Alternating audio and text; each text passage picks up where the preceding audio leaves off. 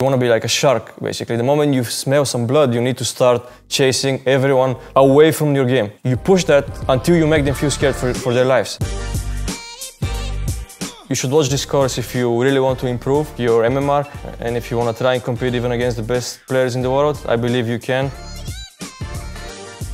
For me, playing aggressive is the best way of playing Dota. And I feel like if you're on the aggressive move, enemies oftentimes don't have time to react and the game feels so much easier.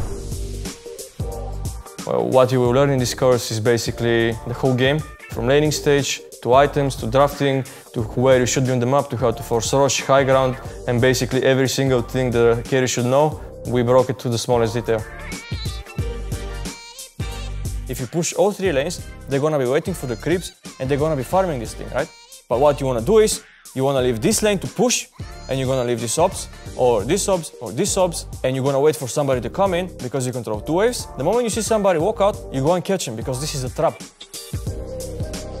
You need to know that sometimes you're gonna lose games, and losing shouldn't discourage you, but losing should only motivate you because this way you can only learn. If you don't lose, you never learn. My name is Nikoy Nikov, Nikobaby, and this is my GamerzClass.